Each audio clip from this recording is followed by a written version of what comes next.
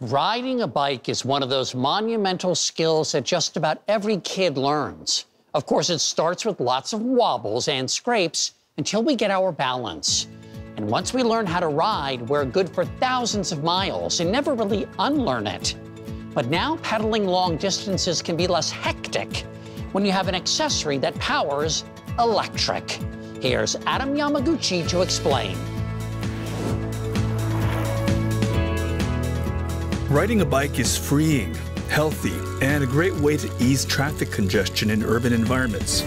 But commuting to school or work on two wheels can turn into a real workout if you're battling long distances and uphill grades. That's why MIT grad and innovator Somnath Ray came up with this one-of-a-kind attachment that can turn nearly any bike into a power-boosting e-bike. I headed to Brooklyn, New York to meet Ray and discover the science behind the innovation he simply calls CLIP. What is CLIP? CLIP, as I would describe it, is the world's first plug-and-play uh, device that you can attach to any bicycle to instantly motorize it to an e-bike. And how did you come up with this idea?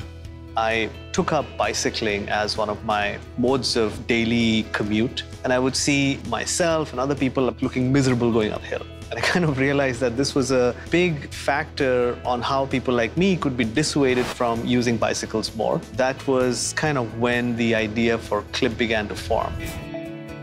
Ray looked into high-tech e-bikes, but found they were expensive, heavy, and locked you into an e-bike lifestyle. He wanted a regular bike experience with an option to boost power and reduce effort. Ray showed me some early designs his team iterated to reach the goal. Can you walk me through how this actually works? I, it's, it's hard to sort of understand just looking at this. Sure. This device basically attaches to the front wheel of your bicycle without the use of any tools.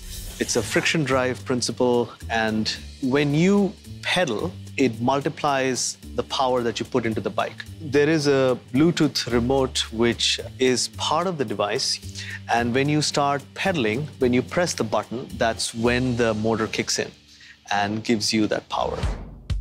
Ray set me up with a regular bike and attached the clip. You unclamp it and you align it to the bicycle and you clamp it down. And that's it. That's it. and now you can ride it as an e-bike. Wow. I hopped on and took a few spins around inside just to get a feel for how the added power affected my effort level. Wow. This actually provides a lot more assist than I imagined it would. right. Yeah, it has a nice punch. Taking a ride outside with varying degrees of slope on the street really revealed what the enhanced torque power could do. I've noticed like on long sort of you know, decent uphills, it yeah. feels like you're just pedaling on a straight, mm. like a flat. Yeah. So this is gonna make me very lazy.